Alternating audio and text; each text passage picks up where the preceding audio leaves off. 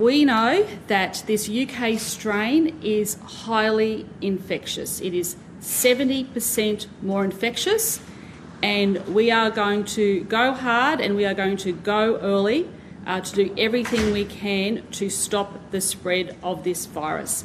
It is incredibly contagious. I have been briefed extensively by Dr. Young. I have accepted Dr. Young's strong recommendations and we will be taking the follow, following actions.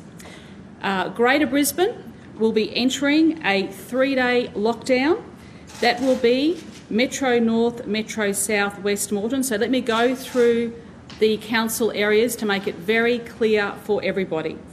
The areas that will be declared Greater Brisbane will be the council areas of Brisbane, Logan, Ipswich, Moreton, and Redlands.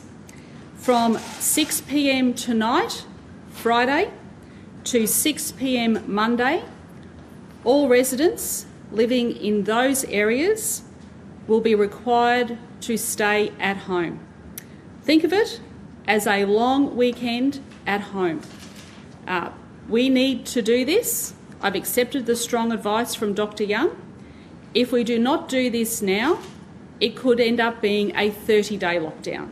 So we will do a very strong three day lockdown uh, in those areas.